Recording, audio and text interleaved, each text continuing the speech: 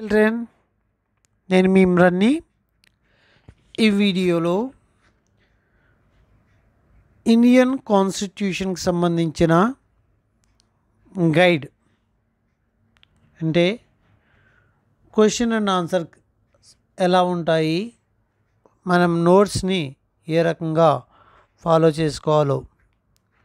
Chapter one the Indian constitution why does a democratic country needs a constitution అంటే ప్రజాస్వామ్య దేశానికి సంబంధించి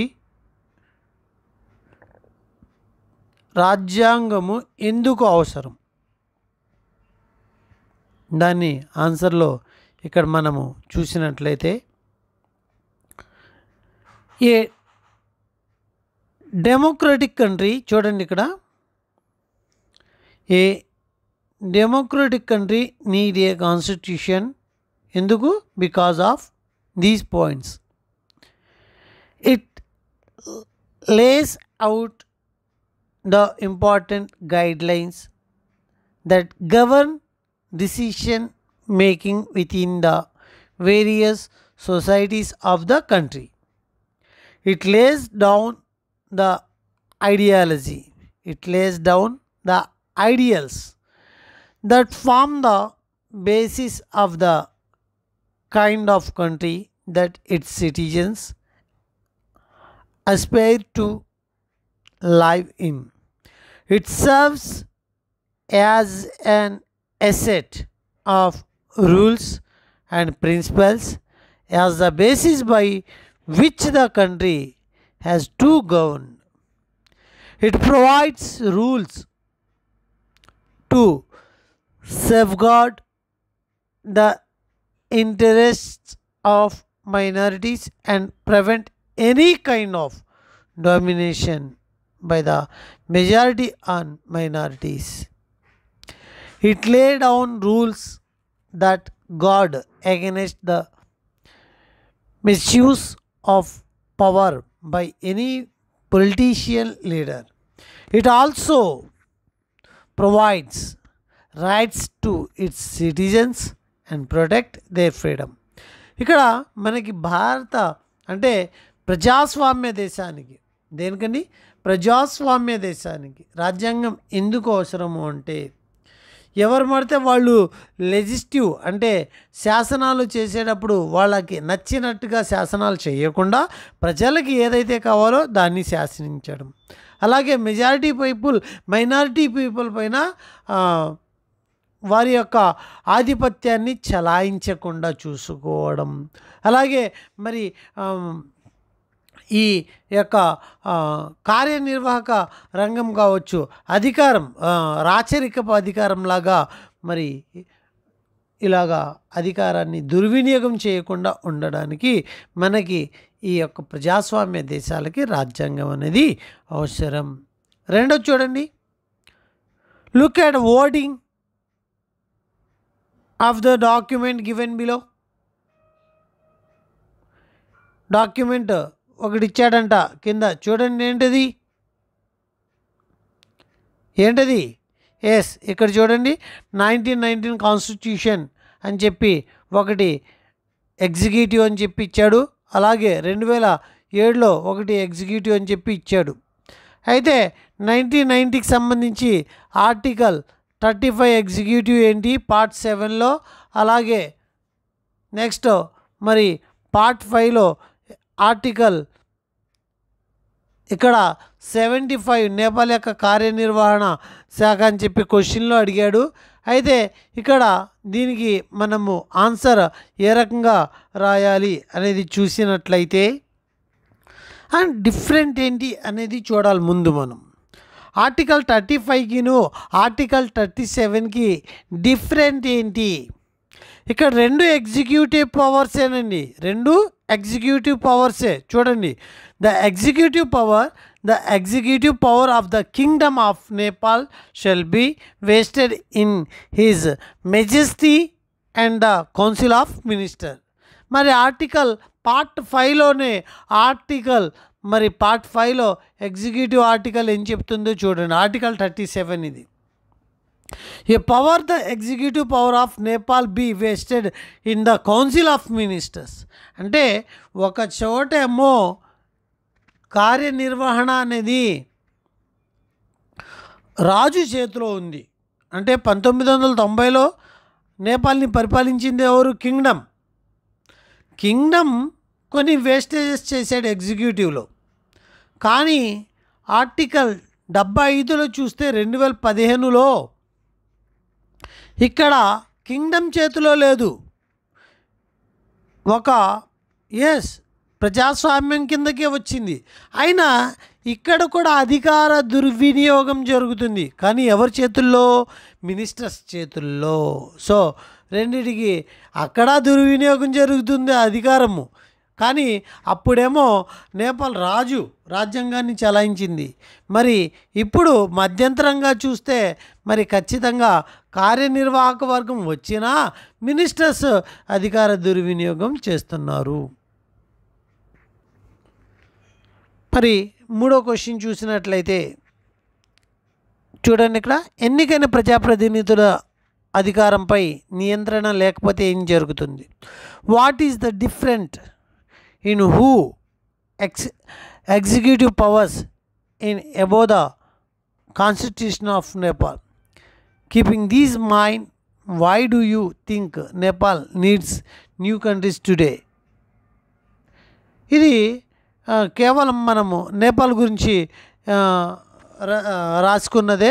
అంటే ఆ యొక్క బాక్స్లో ఉన్న దాని గురించి మనం ఈ యొక్క మ్యాటర్ని కూడా ఎడిషనల్గా మనము యాడ్ చేయొచ్చు. ఇప్పుడు మనం థర్డ్ క్వశ్చన్ని చూసినట్లయితే వాట్ వుడ్ హ్యాపెన్ చూడండి ఏం జరుగుతుంది? If they were no restriction on the power of elected representatives అంటే ఎవరైతే ప్రజాప్రతినిధులు ఎన్నుకోబడతారో ఎన్నికైన ప్రజాప్రతినిధులు పొలిటికల్ లీడర్స్ అధికారంపై నియంత్రణ లేకపోతే ఏం జరుగుతుంది అనే క్వశ్చన్కి ఆన్సర్ చూడండి. ఇక్కడ చెప్పాం కదా. సో ఇది సెకండ్ క్వశ్చన్ ఏదైతే బాక్సుల్లో మనం పైన చూసామో దాని యొక్క ఆన్సర్ని ఇక్కడ క్లియర్ కట్గా ఈ రకంగా రాయాలి. క్లియర్ కట్గా ఇలా రాయాలి. అక్కడ ఎక్స్ప్లెనేషన్ ఇచ్చాను క్వశ్చన్కి. ఆన్సర్ వచ్చి ఇలా రాస్తే సరిపోతుంది. నెక్స్ట్ మూడోది ప్రజాప్రతినిధులపై నియంత్రణ లేకపోతే కంట్రోల్ లేకపోతే ఏం జరుగుతుంది if there are no restriction on the power of the elected representatives the leaders might misuse the po- misuse the power given to them the constitution provides safeguards against this misuse of power by our political leaders so ఇది మరి అంటే వాళ్ళ యొక్క political పైన restrictions కనుక లేకపోతే రాజ్యాంగాన్ని సైతం మరి లీడ్ చేద్దామనే అధికారం కొనసాగించకుండా వాళ్ళ పవర్ని మిస్యూజ్ చేయకుండా ఈ యొక్క రిస్ట్రిక్షన్స్ అనేది మన రాజ్యాంగం ఏర్పాటు చేస్తుంది.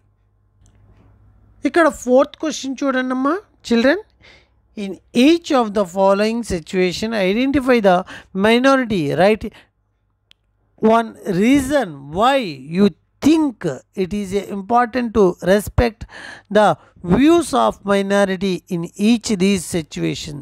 అంటే మైనారిటీస్ని ఐడెంటిఫై చేయండి అంటున్నాడు. ఫర్ ఎగ్జాంపుల్ చూడండి ఏలో ఏం అడిగాడు? In a school with thirty teachers ఒక పాఠశాలలో ముప్పై మంది టీచర్స్ ఉంటే అక్కడ ట్వంటీ మెంబర్స్ మేల్ అంట in a city five percent of the population are Buddhist in a factory mess for all employees చూడండి.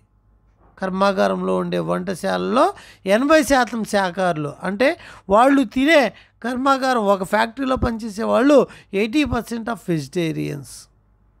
In a class of fifty students forty belong to more well of families నలభై మందికి బాగా సంపన్న కుటుంబం నుంచి వచ్చారు ఒక క్లాస్ రూమ్లో యాభై మంది ఉంటే. మరి దీనికి ఆన్సర్స్ చూద్దామా? ఎస్ ఫస్ట్ సెంటెన్స్లో ముప్పై మంది ఉపాధ్యాయులు ఉన్నారు. కానీ అక్కడ ఇరవై మంది పురుషులు ఉన్నారు. తక్కువ మంది ఎవరున్నారు? ఎస్ స్త్రీలు. Female teachers are minority the female teachers must be allowed space to voice their opinion so so that they effort at teaching are not hindered by their minority status next రెండో వాక్యంలో ఒక నగరంలో five percent మంది బుద్ధులు అని బౌద్ధులు అని చెప్పుకున్నాం. Yes Buddhist are in minority ముందుగా ఐడెంటిఫై చేసావు. ఎందుకు ఐడెంటిఫై చేసావు? వాళ్ళ పట్ల ఎలా ప్రవర్తించాలో కూడా చెప్తున్నావు. Every individual has the right to follow the religious of his or her choice people of other faiths must respect the religion other than their own. Next మూడో దాంట్లో చూడు. నాన్ వెజిటేరియన్స్ ఆర్ మైనారిటీ అంటే eighty percent vegetarians ఉంటే twenty percent ఎవరున్నారు? Non vegetarians food choice is personal wish so he or she should have the freedom to eat what wants next నాలుగో దాంట్లో. డీలో చూడండి. And privileged are in minorities అంటే ఎవరైతే నలభై మంది ఉన్నారో సంపన్న కుటుంబీకులు అయితే పేద కుటుంబం నుంచి వచ్చిన వారు ఇక్కడ మైనారిటీస్ కాబట్టి వారిని అండర్ ప్రివిలైజ్డ్ అని చెప్తున్నాము. Citizens cannot be discriminated by their birth so their views of have respected so next చూడండి అమ్మా ద కాలం ఒక కాలాన్ని ఇచ్చాడు రాజ్యాంగానికి సంబంధించిన కీ ఫీచర్స్ అని చెప్పి ఇచ్చాడు ప్రాముఖ్యత ఏంటి సి- అని చెప్పి అడగడం అనేది జరిగింది. దాని యొక్క అంటే ప్రతి కీ ఫీచర్ ఫెడరలిజం యొక్క ప్రాముఖ్యత ఏంటి సపరేషన్ ఆఫ్ పవర్స్ యొక్క ప్రాముఖ్యత ఏంటి ఫండమెంటల్ రైట్స్ యొక్క ప్రాముఖ్యత ఏంటి పార్లమెంటరీ ఫార్మ్ ఆఫ్ గవర్నమెంట్ యొక్క ప్రాముఖ్యత ఏంటి వాటి గురించి మనం తెలుసు మనం లెసన్లో కూడా చెప్పుకున్నాం చిల్డ్రన్స్ ఇక్కడ. కీ ఫీచర్స్ అంటే ఇక్కడ ఫెడరలిజం అంటే ఏంటి?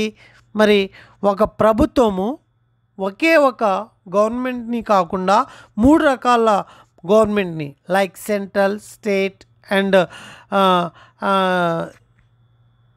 ఇలాగా సెంట్రల్ స్టేట్ అలాగే పంచాయతీ ఈ రేంజ్లో గవర్నమెంట్ని ఫెడరల్గా సెంటర్స్గా హోల్డ్ చేయడం లైక్ చూడండి federalism it ensure national unity and at the same time allows individual progress a federal government follows the center to hold supreme power but its constitute states have some powers as well as separation of powers అంటే separation of powers అధికార విభజన మూడు యంత్రాంగాల్లో ఉండాలి legislative execute and judiciary so the this service two purposes firstly tyrannical use of powers is avoided since it does not waste power vest power in any single authority secondly the three organs of power also work as a check